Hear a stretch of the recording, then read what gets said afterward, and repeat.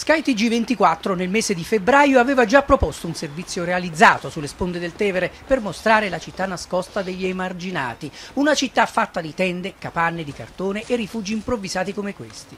Osservando bene le immagini ci siamo resi conto di aver ripreso anche Massimo Galiotto, il senza fissa dimora sospettato di aver prima malmenato e dopo gettato nel fiume Capitolino Bo Solomon, lo studente americano che nella città eterna ha vissuto appena 16 ore. È lui perché riconosciamo il suo giubbotto da motociclista vista e il suo inseparabile cane Briscola. È gentile e ci dà alcune informazioni su come arrivare a San Pietro. C'è il Ponte Sant'Angelo più avanti poi San Pietro. Ah vabbè dai. Qua va a finire l'isola di Berina. No, infatti io volevo andare verso San Pietro. San Pietro di là. Ah, di là allora, grazie ragazzi.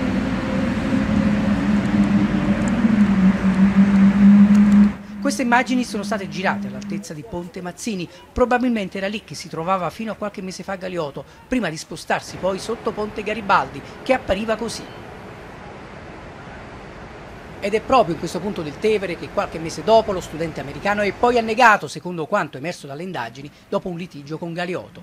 Federico Sisimbro, Sky TG24.